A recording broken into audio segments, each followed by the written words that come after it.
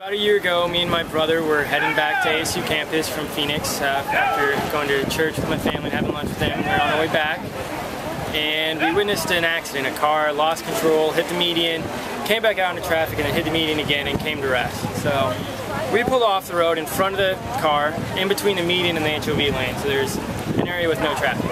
And I go to check on the people in the car, and at this time, a truck stops behind the car in the HOV lane, and when I'm talking to people in the car. Uh, car hits a truck, truck starts spinning, and truck hits me, and I got, according to my brother, I was launched about 15 feet forward and landed on my head and shoulder and slid about another 15 feet.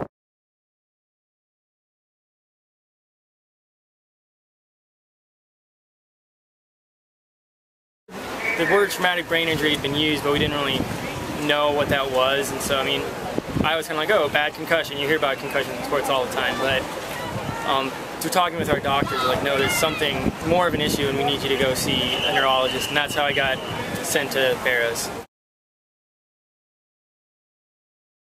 The main issue I had was word finding, because I damaged the left temporal part of my brain, which is, deals with language, and so the like, I would know what I wanted to say, but I couldn't find the word. And the, example I always give was once I was in speech therapy, they were showing you pictures, and they.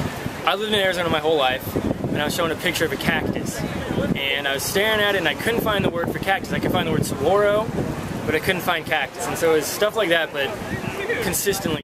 The first thing I noticed about Barrows was really how much they cared about the whole recovery process the, the, first day you go in, they talk about all your symptoms, and then they evaluate you beyond the symptoms you have with evaluating the images that have been taken. And then before you leave is you meet with a counselor. And so they're not just cared about making sure your brain heals the way it should heal, they're cared about how you're doing personally and emotionally, and making sure you're in the right place and where you need to be to recover well. One thing I know I struggle with is my brain injury is that I always feel like, you know, especially as an athlete, I feel like, you know, this is something I should be able to try harder to get through. Especially like one of the things after traumatic brain injury is like focus. I feel like I should just work harder at focusing better. And so I know that's one thing I had, I still struggle with is with my brain injury.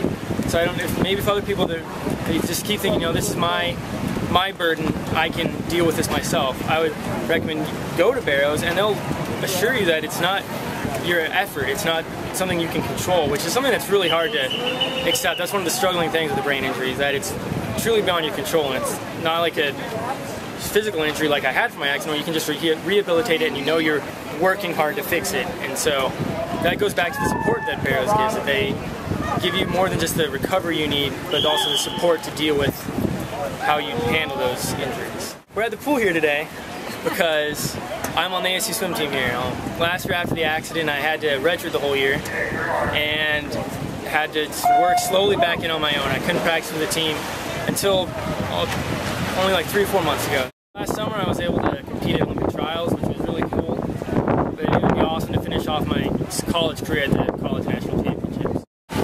I just really like to thank them for all the time and effort they put in. I mean, I know they have a lot of patients coming in and out. Just to always come in and, and to feel like you're an important patient and that always feel like they're dealing with you and not thinking about someone else while they're while you happen to be in their way. It's just great. So I really